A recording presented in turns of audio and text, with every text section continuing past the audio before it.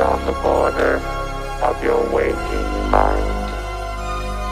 There lies another time where darkness and light are one. And as you tread the halls of sanity, you feel so glad to be unable to go beyond. I have a message from another time.